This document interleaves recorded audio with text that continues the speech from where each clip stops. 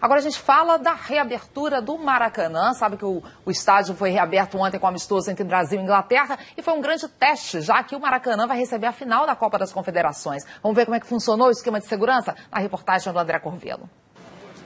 O jogo começou bem mais cedo para o gigantesco time da segurança. Se a defesa não pode falhar, a escalação é pesada. Esquadrão antibombas nos vestiários, céu patrulhado, Helicópteros da polícia sobrevoaram o Maracanã durante o dia todo e de bem perto. Rasantes por cima e segurança de aeroporto por baixo. Nem a imprensa se livrou da revista. Tem outro celular?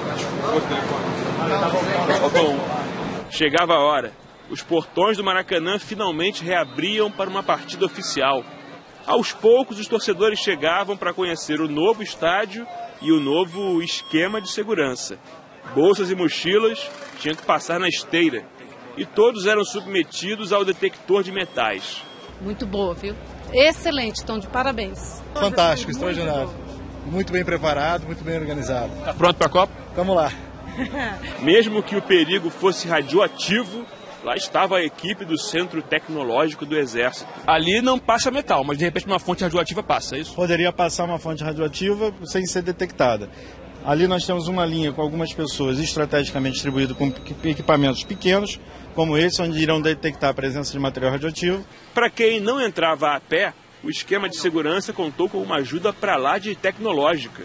É o veículo scanner da Polícia Rodoviária Federal, que não será mostrado por fora por motivo de segurança. Olha, esse carro aqui acabou de entrar na área VIP do Maracanã, ele está passando aqui agora no scanner. Olha só, é uma leitura em tempo real do que tem dentro do carro, mais um carro. Ele vai entrar e aqui o computador faz a leitura tipo um raio-x. Você vê tudo no carro, ele pode detectar armas, drogas, explosivos, tudo isso sem precisar abrir a porta do carro.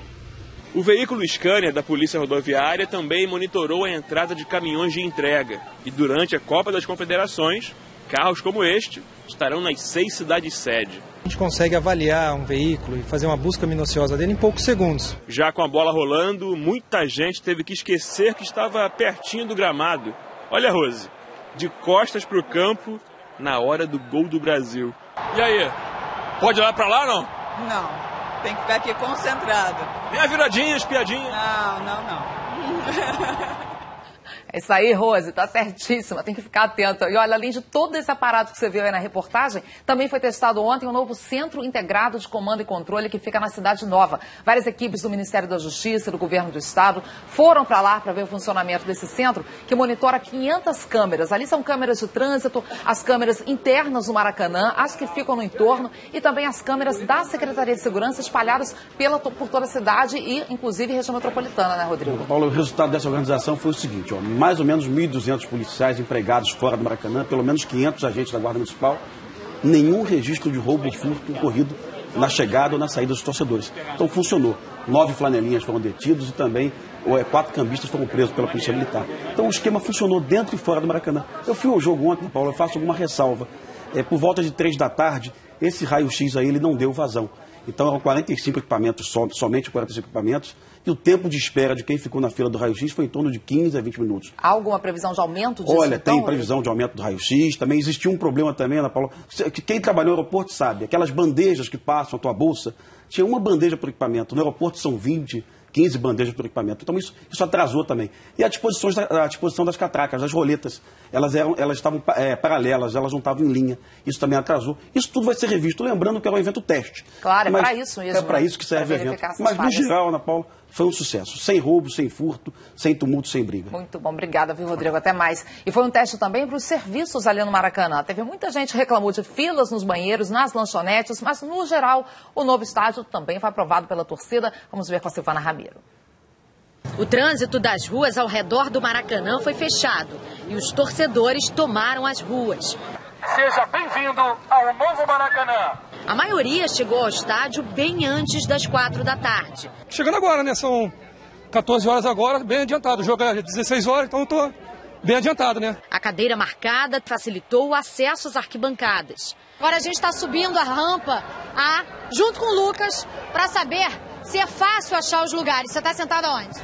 É A, setor A. Setor A. Então vamos ver se é fácil. Vamos por aqui.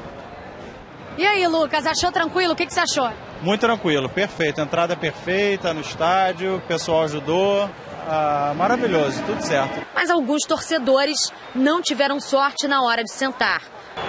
Olha só, ele não está conseguindo sentar. É, eu sei. Setor 3 aqui, ó. Os lugares comprados por Roberto, que veio de Porto Velho com a família, estavam ocupados por outras pessoas. No intervalo do jogo, o problema foram as filas. Já estou há muito tempo na fila. Aliás, são três filas. Você merece ter o retorno por aquilo que você pagou. Torcedores também perderam tempo para usar o banheiro.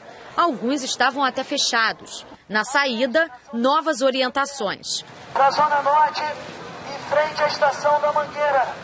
A saída do estádio foi bem movimentada para quem decidiu ir para casa de metrô. Os torcedores perderam um bom tempo aqui na rampa de acesso à estação Maracanã. Vamos fazer uma avaliação profunda depois do evento e fazer os ajustes, e a partir daí a gente vai poder dizer: o Rio está pronto para a Copa das Confederações.